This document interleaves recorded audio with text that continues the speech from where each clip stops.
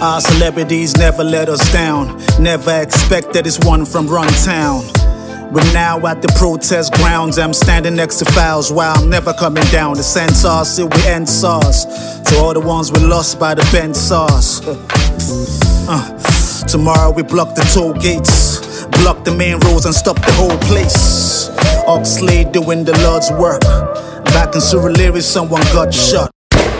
Man, you guys, they gave me life. For Mr. Macaroni, I could give my life. Ah, don't forget to use the hashtag.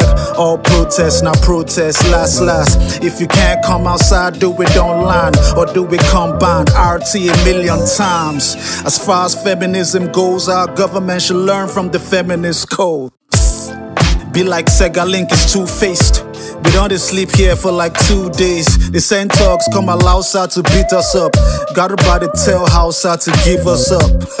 they don't they shake on which one be that?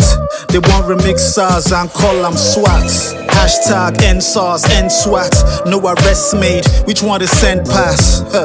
five for five, that's what we're asking for. Give us what we want, what's all the capping for? The whole thing's getting out of hand. People dying left and right, this was not the plan.